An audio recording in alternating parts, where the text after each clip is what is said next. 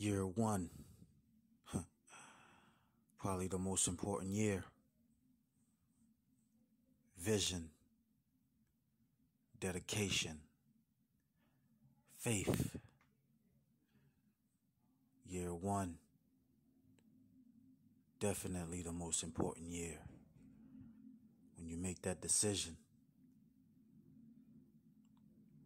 and you have the dedication to follow through and the faith that something's gonna give, something's gonna work out, something's gonna make it happen.